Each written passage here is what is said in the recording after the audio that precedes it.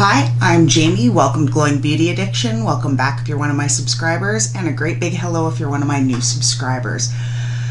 Today is going to be a bit of a different video, so if you are a new subscriber or it's your first time here, I apologize. Um, usually, I do a swoop shout out. Today, for Sheet Face Sunday, I'm going to get a little personal. If you follow me on Twitter, you know that there's been some drama for me in regards to my family, and I've been letting it get me down a lot. So perhaps if I just spout, vent, talk about it here, um, I can get over it and get out of this funk and get back to being me and enjoying life. Um, I'm going to try not to get emotional. This has been a long, brewing, ongoing thing, and I think I have finally just gotten to that point where enough is enough. Um, quite a few years, like more than 10 years ago, I had to cut my father out of my life, and you know, if you guys like hearing personal stuff, perhaps I'll do a story time on that sometime. But uh, today we're going to talk about my toxic sister and how we've gotten to the point that we've gotten to. Um, so let's get the beauty business out of the way and then I can start rambling. Um, it is coming on five in the morning. I've been up since three. Uh, my eldest is having a sleepover with grandma and grandpa because they're at a rodeo nearby, so he's camping with them. And my youngest is here. Uh, he's been sick, so that's been adding to the uh, sleeplessness and stress of things. But uh, such is life of a mom. Um, just as a note, a few one thing I really want to mention. I found these morning glamour wake up feeling glamorous satin pillowcases. Now I got mine at Winners and they are $9.99 each. And I know I've mentioned before sleeping with a silk scrunchie in to help your hair. I swear these help. Like I haven't touched anything. My hair stayed in scrunchie all night.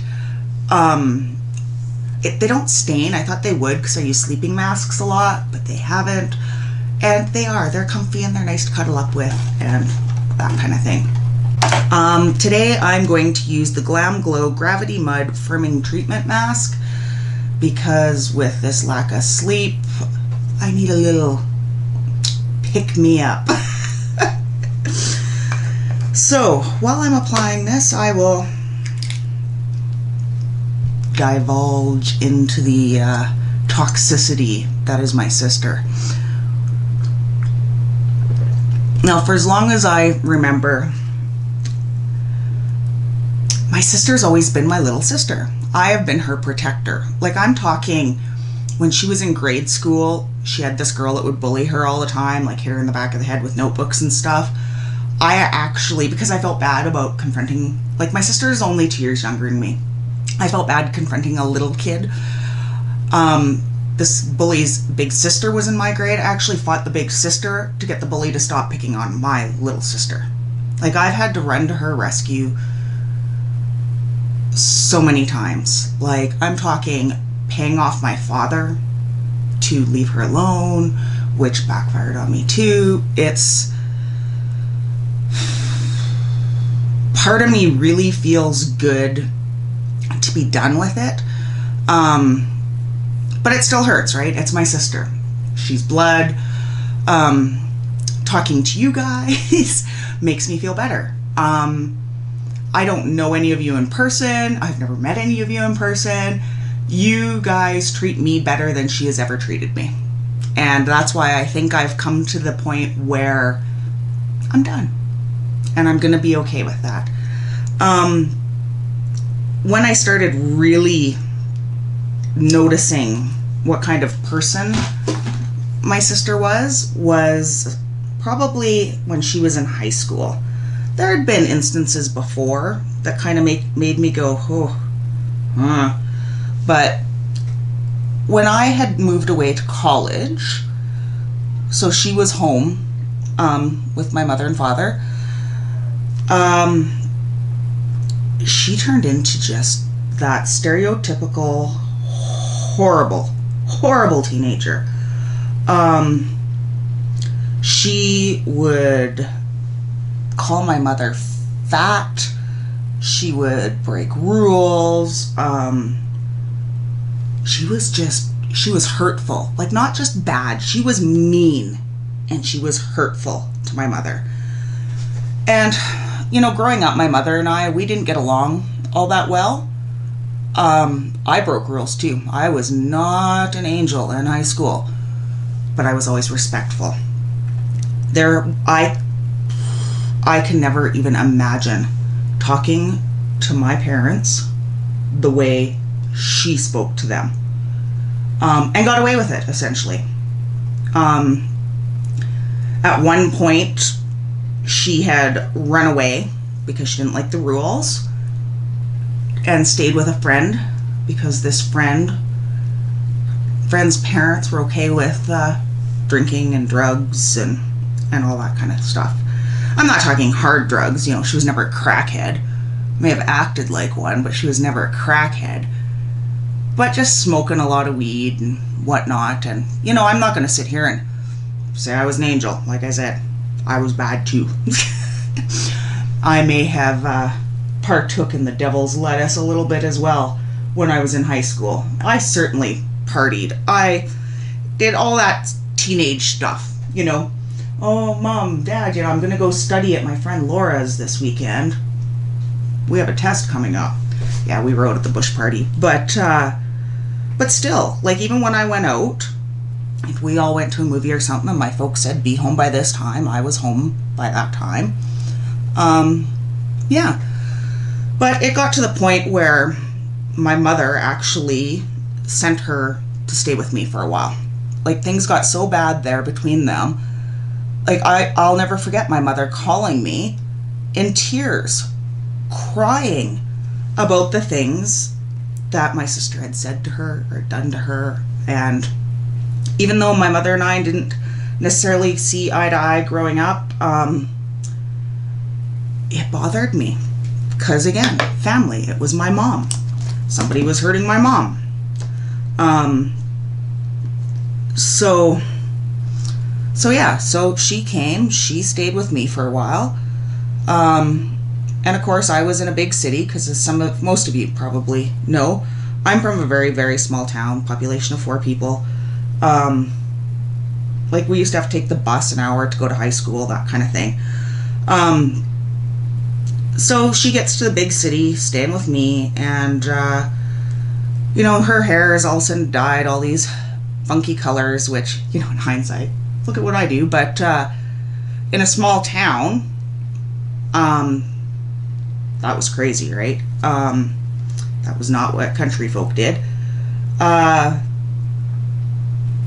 she got piercings and all this kind of stuff. So she did this while I was at work because I was working. I was going to college. I was doing all that on my own. Um, and now, on top of that, supporting her over the summer.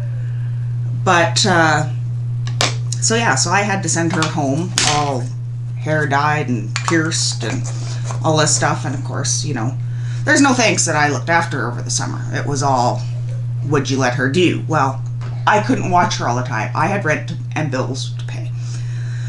So, you know, life goes on. Um, she finishes high school, she goes to college. She goes to college much closer to home. And the entire time she's in college, though, um, she's getting free food, she's getting her laundry done, she's getting money, all this kind of stuff. Stuff I didn't get when I was in college. Now, granted, I screwed up. My first year of college, I drank it away. And you know what? I don't blame my parents for cutting me off. I don't. I deserved it. Um, it, it is what it is. Um, oh, before I get too far into it, I my second shirt came in from Nosy Hausfrau. If I sleep in it, it's pajamas. Um, so yeah, I'll link her channel because you guys need these shirts and support her channel.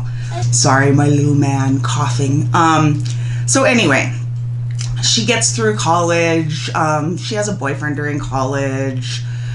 That all falls apart. Um, but years later, my folks are getting a divorce. And so at that point, you know, they're both my parents. Um, I w- offered them the same things each. Like, if you need somebody to talk to, I'm here for you. Um, my father threw that in my face. My mother took me up on it. Um, my mother actually came and lived with me for a while. Um, I ended up getting out of bad relationship and moving in with her after. But during the time of the divorce is when my sister decided she needed a loft. She did not want to live in an apartment anymore. She needed to have a loft. Like at this point, I'm still living in an apartment, but whatever. I'm working, I'm paying my rent, minding my own. So she goes to my father and, you know, says she needs this loft, she needs a cosigner, all this stuff. When she's talking to me about it, I tell her, I'm like, this is not a good idea. Not right now. If he cosigns for you, you're you're screwing mom over. Like it's gonna go against all the the money, the far, like all this kind of stuff. You are going to screw mom over so bad. Like, don't do this. She does it. So my father ends up co-signing for her, which screws my mom out of a whole lot of money because it's against debt and all this separating of assets, all this kind of stuff. So my mom, who's later on in life, ends up having to leave that marriage with zero. She got the truck. That is all she got out of her divorce because of what my sister did. Um, she never got alimony, anything. She left with what she could fit in her truck. And that's what she did. Um, so she got her loft, everything else. She gets a new boyfriend. The boyfriend moves in with her within days. Um, then all of a sudden, she's moving back to the farm. So she screwed mom over to get this loft, and now she's moving back to the family farm to be with with her father. I say her father because I refuse to acknowledge him as mine. But anyway, that's another story. Um, she moved back to the farm because my father, her father, whatever, had essentially told her that she would get the farm for free. So she's all about getting what is good for her. Um, when she told us she was moving back up there, um, both my mother and I said, you know, you go. Um, we're we're not helping you because we knew this was going to fall apart. We knew this was going to go bad. Um, but she moves. She goes up there with the new hubby, whatever. Um, under all these false pretenses, things are stressful because my father is an alcoholic. Um, so while she's at the farm, um, her and her husband, they end up getting married. Um, they have a kid. Well, she gets pregnant, first off. Um, then all of a sudden, midway through the pregnancy, she quits talking to me. I don't know what I said or did. To this day, I don't know what I said or did. I had asked my mother, and she had said, well, she took offense to something I said. I still don't know what that is. Whatever. So, um, yeah, we go a long time like her whole pregnancy without talking. Whatever. Um, I think like the part reason why that makes sense is like it kind of goes to show like we have never been that going for drinks, going shopping, hanging out kind of sisters. Um, she has another baby. Um, then one day in the middle of the night, her husband leaves her out in the middle of nowhere where this farm is. Um, she's got the two kids I had said I was never going to help her again. But we, she decides she's going to move down here where my mother and I are. Um, my husband and I, we rent a storage unit for her stuff. Bart actually drives all the way up there to help her load stuff to move. She never pay, repays us for the storage unit. She never, you know, compensates us in any way. I don't even know if we got a thank you really for him driving. Like it's a over 10 hour drive from here up there to help her move. We get, um, yeah, we help her move into her place. We're helping her with all this stuff.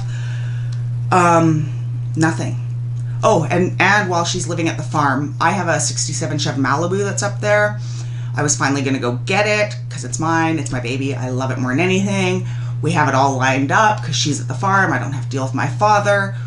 Uh, we've got a car hauler rented, all this kind of stuff. She tells my father the day before so that he blocks in other vehicles and stuff. So she screws me in the midst, like very short time before. All of a sudden, I'm having to help her move.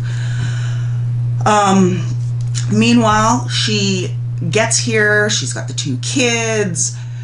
I'm in Canada. It's cold. The block heater on her car doesn't work. So she has no heat in this vehicle and she's got to be running around with these kids. The brakes don't work that well, all this stuff. So Bart and I pull money out of our account for her to buy a new vehicle. We loan her this money, which she pays that back. She does pay back for the car.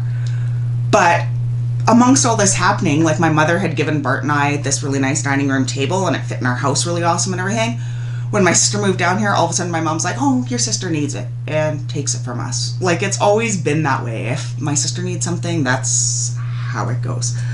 Um, so she gets down here, all of a sudden then there's custody issues. Um, her husband, who is never he left i think it was like the day after their second kid's first birthday and he's never tried to see them but he's fighting and causing legal issues all this stuff. She needs a lawyer. So bart and i have to pay for her to get a lawyer to keep her kids. Um, we loan her that money as well. We do not get repaid. She swears she repaid it but we've gone back because bart and i are very we keep track of stuff she did pay us back for the car, but she never did pay us back for all those legal fees, which is a nice kick in the teeth. So she gets here. She actually does get a job for a little while. Um, she gets a new boyfriend. The boyfriend has rich parents. Um, all of a sudden, she's pregnant. Oops. Um, so yeah, so now she's having baby three with second baby daddy. Um, and right after that, all of a sudden, she needs a bigger house. Um, but so she's got this third baby, but she doesn't want him to move in with her yet because she wants to be able to stay getting her social security or her subsidies, her low income housing, all this stuff. Um, but she needs a bigger house. She needs to live in a better area, all this kind of stuff she keeps telling me, oh no, you know, baby daddy's parents are going to help us. They, they offered. She's getting quite upset because they offered help and why aren't they helping? And she's found all these houses and all this stuff. Keep in mind, my husband and I, we have both bought our own houses, got our own houses, paid off our own houses on our own. We've never gotten help from family or friends or anything. This is how we are. Um, so she all of a sudden, oops, is pregnant again. So baby four with second baby daddy. Um, and wow, what do you know? They're getting a bigger house. So baby daddy parents co-signed and helped get them this house. Um, but anyway, um, when she got pregnant with baby three, I gave her a ton of my baby stuff because I don't need baby clothes that both my boys have uh, grown out of and stuff. And I gave her the crib and my nursing chair and the stool that goes with it and stuff. But I, I was very clear, and I even showed her the text messages and stuff where I loaned this stuff to her. When we bought the crib, we bought the, the rails to convert the crib into a bigger bed. My son knows that this was going to be his bigger boy bed and all this kind of stuff. We spent more on the rails than we did the crib. Um, so, yeah, we weren't going to just give that away. But yet she is going to go and say that, oh no, you gave it to us. Her text messages when I brought this up was, I have nothing of yours. You gave it to me. So she's just this kind of personality. She'll take and take and take and use and use and use and then act surprised and a victim. Like her and Cookie and her Mango would get along great. Um, as of late, she's looking looking at houses again. So either she's going to end up pregnant again or something because this is how her, that's her modus operandi. Um, we've I I'm trying not to get emotional. I'm sure there's going to be a lot of cuts in this video. Um, a while back, like a long while back, um, she had gotten this cabinet from the farm. And this was a cabinet that my grandfather, who I idolized growing up, um, had made for me. Uh, he had made her one as well, but there were two of them. Mine was painted, hers was not. She had brought it up and gave it to her sister, or to her daughter. So it's like, okay, I'll let it lie. Brought it up with my mother. My mother's like, oh, I'm sure she'll give it to you as soon as she's done anyway, blah, blah, blah. I had asked her back in March, like, can I get this from you? Because I don't have any contact with that side of my family, but I still idolized my grandfather, and it was something I would like to give to my boys.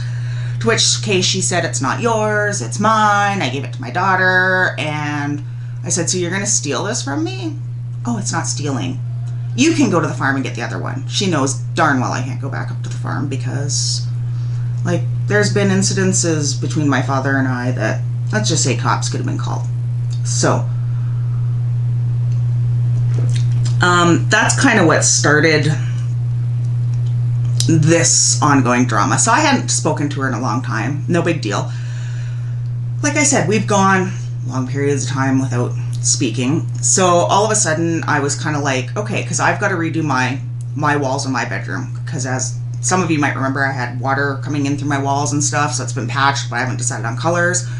And I thought if I'm going to go through the hassle of painting and whatnot, I am going to finally get this house looking how I want it to look. So my boys were so excited. They're picking out their room colors and how they want it painted and all this kind of stuff. So I text my sister and say, Hey, are you done with that crib and chair yet? Because we're going to move it into Mason's room and he's going to have a little reading corner with that chair and stuff. And uh, she doesn't answer me. She says, Oh, I've been waiting since March. Let's go for drinks. So I was like, That's not what I asked. Like, are you done with the crib and stuff? And she's like, well, let's get together and we can talk about it. Like, I don't want to get together. Are you done with it? Like, at this point, it was like if she would have said no and left it alone, okay, whatever, I'll make alternate plans until you are done or whatever. I say to her, I'm like, just let me know if you're done. Well, no, we need to go for drinks. I'm like, okay, point blank, I don't want to go for drinks. Like, let's just drop that. Are you done with the stuff? Well, I think we should go for drinks and we need to chat and on. And it finally got to the point where I was like, I'm done. Stop drawing this out. I don't want to get together. I'm just done. Bring me back my crib and my chair and stuff because we're redoing Mason's room. End of story. To which she's like, "Well, I don't feel I don't feel like I should have to give it back, and you're you're being mean to me, and I don't know why you've gotten so bitter and mean as you've gotten older." Not bitter or mean. I've just had enough of your shit. Like, years and years of your shit. That's what's going on. So then it turns into she's not going to give it back because I won't talk to her. So I finally just said, stop holding it hostage. Um, bring it back. I didn't even lose my temper. Just, you know, have have a good day. Then it's like, oh, I don't. I'm not holding anything hostage because uh, it's not yours. You gave it to me. I know I'm rambling. I'm sorry. I'm trying not to get mad or cry. Um, like my son is up so upset. I am so upset. Um, yeah. So this has gone on. So finally, she's like, until we, until you tell me how to fix the relationship, then um, I'm not bringing it back. So I, said I said, fine, okay. Here's how you fix the relationship. You bring me back my shit, and we'll go from there. No. So she's lied, she's stolen. Um, she's been like this all along. Um, you know, anytime I've gotten something good in my life, you know, when we get a new house or something, she can never be happy. She's the kind that's like, well, why do you get it and I don't? Um, she continually has always, always made me feel like a bad mom. Um, like she has to one up you so if I'm struggling because Bart works away and I've got the two kids and I'm finding it hard to do something, you know, it's never the I'll help you out. It's the oh, I have to do this all the time with four kids.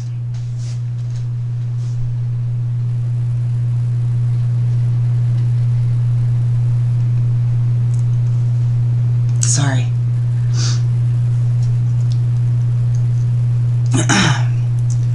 she uh she uses people. She hurts people. Whew, okay, I should start feeling this. Um, you know, and what bothers me too is my mother um, is going to end up in the middle of this, which sucks. Um, you know, she takes my sister's side a lot, all the time actually, to the point where it's like I've lined my mother up to help me out in times, and you know, my sister will call her and I get dropped so I've had no choice but to do all this stuff on my own by myself. Um, you know, right now, my husband and I are paying my mother's mortgage right now. My sister doesn't help her out. Instead, my sister drops kids with her all the time, or the other grandma, or this is the first time ever Bart's parents have watched the kids. This is the first time ever. Um, I shouldn't even upload this. This is just me rambling. Um, so, I'm going to wrap this up. Um, I love this mask. Um, yeah. Anyway, family sucks sometimes. And as much as I'm mad at her, I feel like I hate her, even though hate's a strong word I don't use. Um, I'm hurt.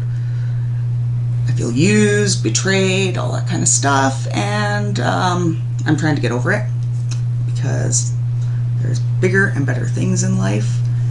And uh, yeah, so that's what I'm going through right now.